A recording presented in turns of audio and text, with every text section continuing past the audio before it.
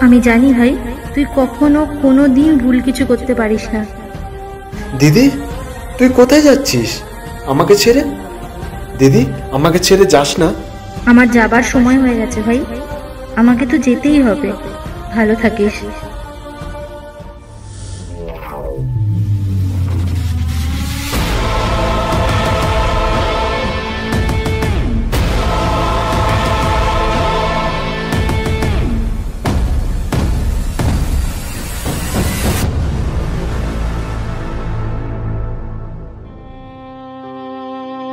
কাছে ভালোবাসার মানে কি?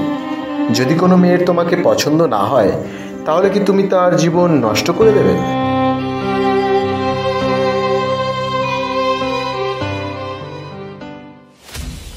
নমস্কার বন্ধুরা, আমি সুজয়। আমি কলেজ স্টোরি বিম্ব, ময়ূরী এবং রাগে অনুরাগের মতন কাজগুলোর পরিচালনা করেছি। এই প্রথম পরিচালনাতে আসছেন মমিতা। সবাই প্লিজ সাপোর্ট করো যাতে আরও অনেক দূর আমরা এটা নিয়ে এগিয়ে যেতে পারি। নমস্কার, আমি মৌমিতা। কলেজ স্টোরি দিয়ে শুরু হয়েছিল আমার গল্প বলার কাজ। এই প্রথম আমি পরিচালনা করছি হিমাংশু রায়ের লেখা গল্প, একটি অ্যাসিড কাহিনী।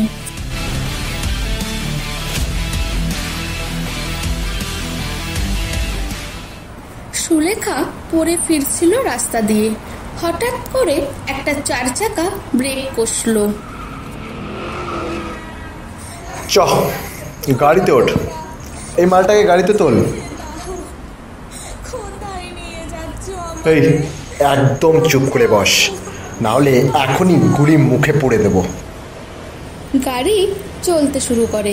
এইবার একটি ছেলে মেয়েটির মুখে সেলুটেপ লাগিয়ে দেয়। চারিদিকে ঘেরা একটা পরিত্যক্ত বাড়ি। চারিদিকে মাকড়সার জাল আর শ্যাওলা দিয়ে ভর্তি। রাত্রি আন্দাজ দুটো হবে। একটা জোয়ান ছেলেকে দড়ি দিয়ে চেয়ারে বেঁধে রাখা হয়েছে। মুখে কালো সেলুটেপ। ছেলেটা প্রাণপণে ছাড়বার চেষ্টা করছে, কিন্তু পারছে না। একজন এসে সেলোটেপটা খুলে দিতেই ছেলেটা চিৎকার করে উঠল। কে বেসালা তুই? জানিস আমার বাবা পুলিশের কত বড় অফিসার তোর সাহস কি বাবা হয় আমাকে কিডন্যাপ করার তোর গোটা গোষ্ঠীকে যদি ফাঁসিতে না লটকাই না তাহলে আমার নামও সুবল না। অন্ধকার কোণ থেকে পিস্তলে গুলি ভরতে ভরতে বেরালো সুমির পিস্তল দেখে সুবলের বিরাট ছাতি চুপসে গেল। ভয়ে ভয়ে বলল কি কি চাও তুমি? দেখ তো চিনতে পারিস কি না পকেট থেকে একটা ছবি বের করল সমীর। ছবিটা দেখে সুবলের বুকটা ছ্যাত করে উঠল। এ তো সেই মেয়েটা যেই মেয়েটাকে কয়েক বছর আগে অ্যাসিড ছুঁড়েছিল সুবল। ধাক্কাটা সামলে বলল না চিনি না। সজোরে একটা থাপ্পড় লাগালো সমীর সুবলের গালে। আঙুলের দাগ বসে গেল। বল চিনিস কি না রেগে বলল সমীর চোখগুলো যেন জ্বলছে দাউ দাউ করে। চিনি। মানে ভালোবাসতাম ওকে আমি। সজোরে দশ বারোটা থাপ্পড় কষালো সমীর সুবলের গালে। তারপর বলল ভালোবাসতিস? যখন এতই ভালোবাসতিস তাহলে অ্যাসিডটা মারলি কেন? আমার কথা শোনা বন্ধ করে দিয়েছিল। আর অন্য ছেলের সাথে কথা বলতো তাই আচ্ছা যদি তোর নিজের বোন তোর উপর রাগ করে কথা না বলে অন্য কাউকে দাদা বলে ডাকে তাহলে কি তুই তোর বোনকেও অ্যাসিড মারবি? সুবল যুক্তি দেবার জন্য বলল তাই নাকি? কিরে কি আছিস? ওর বোনটাকে নিয়ে আয় আর অ্যাসিডের ড্রামটাও নিয়ে আয়। সুবল চাকা খেয়ে গেল। ও ভাবতেও পারেনি যে ওরা সুলেখাকেও কিডন্যাপ করেছে। সুলেখাকেও একইভাবে বেঁধে রাখা হয়েছে। সেলোটেপ খুলে দেওয়া হলো। দাদা, এরা কারা? আর আমাদেরকে কেনই বা ধরে এনেছে? সুলেখা বলল সুবলকে, সুবল ভেবা চাকা খেয়ে গেছে। কি বলবে? বুঝে উঠতে পারছে না। নে ড্রাম। এবার ছুড়ে দে তোর বোনের দিকে। পিস্তল ধরে সমীর বলে দাদা কি আছে ওই ড্রামে? সুলেখা জিজ্ঞাসা চোখে তাকায়। অ্যাসিড। সমীর উত্তর দেয় ভাবলেশীন ভাবে সুলেখা এবার ভয় পেয়ে যায়। ভয়ে কাঁপতে থাকে। সুবল হতভম্ব ভাবে তাকায়। সমীর এবার বলে আচ্ছা ঠিক আছে। আগে গল্প শোন।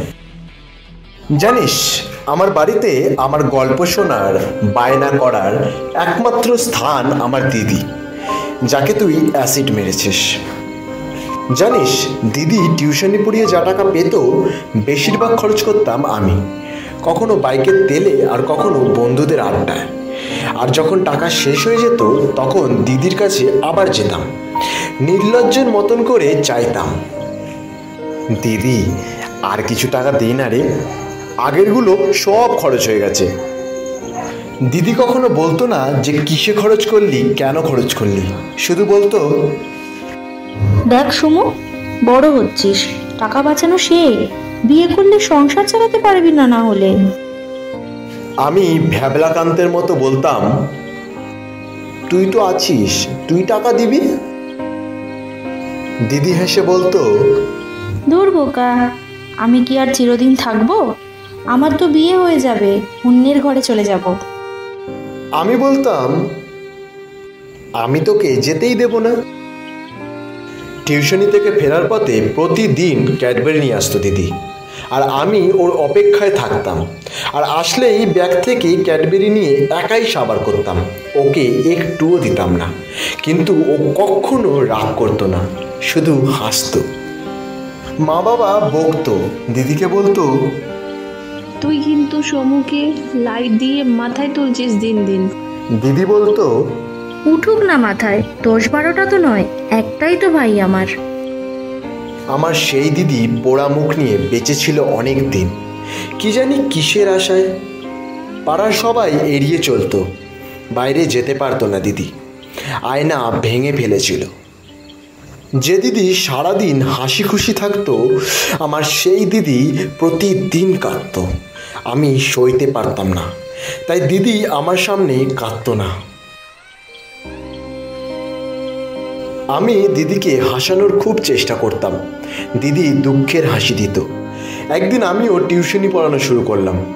প্রথম মাইনে দিয়ে দিদির জন্য আয়না লাগানো শাড়ি কিনে দিয়েছিলাম। খুব খুশি হয়েছিল দিদি। বলেছিল মা দেখো সুমু বড় হয়ে গেছে। কে জানতো সেই শাড়ি ওর মৃত্যু ডেকে আনবে? শাড়ির আয়নায় নিজেকে দেখে মূর্ছা গিয়েছিল দিদি। আর জ্ঞান ফেরেনি। আগে জানলে আমি কখনোই শাড়ি দিতাম না দিদিকে। কখনোই দিতাম না। কাঁদতে থাকে সমীর। সুলেখার চোখেও জল। তারপর সোজা হয়ে দাঁড়ায়। সমীর বলে দিদি যাবার পর দিদির ডায়েরিটা খুলেছিলাম। পাতায় পাতায় শুধু তোর কথা। চারিদিকে শুধু তোর দেওয়া উপহার আর তোর ছবি। খুব ভালোবাসতো দিদি তোকে। অপেক্ষা করছিল তোর। তাই তো আমাদের শত বলা সত্ত্বেও তোর নাম নেয়নিও। ভেবেছিল তুই তোর ভুল বুঝে দিদির কাছে ফিরে যাবি। ডায়েরি পড়ে ইচ্ছা করছিল তোকে খুন করে ফেলি।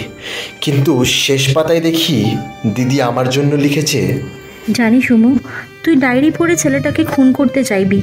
কিন্তু তুই যদি আমার ভাই হোস তুই ছেলেটাকে কিচ্ছু করবি না। আমি যে ভালোবাসি ওকে।